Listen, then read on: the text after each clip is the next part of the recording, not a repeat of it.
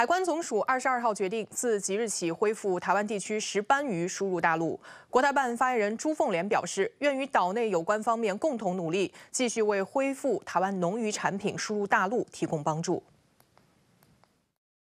朱凤莲二十二号表示，因多次从台湾地区输入大陆石斑鱼中检出孔雀石绿、结晶子禁用药物及土霉素超标。基于保障食品安全和大陆消费者健康安全的考虑，海关总署自二零二二年六月十三号起暂停了台湾地区石斑鱼输入。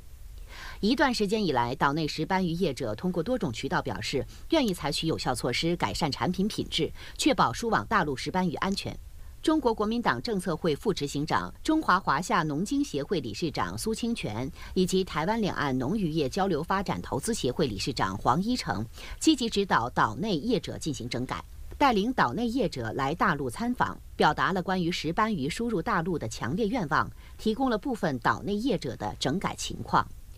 在综合评估相关整改措施的基础上，海关总署决定自十二月二十二号起恢复台湾地区石斑鱼输入。输大陆石斑鱼需来自审核合格并予以注册登记的养殖企业。据了解，一些台湾石斑鱼养殖企业获得首批注册登记，这些企业即日起可向大陆输入石斑鱼。朱凤莲说：“只要坚持九二共识，反对台独，两岸就是一家人，一家人的事情就好商量、好解决。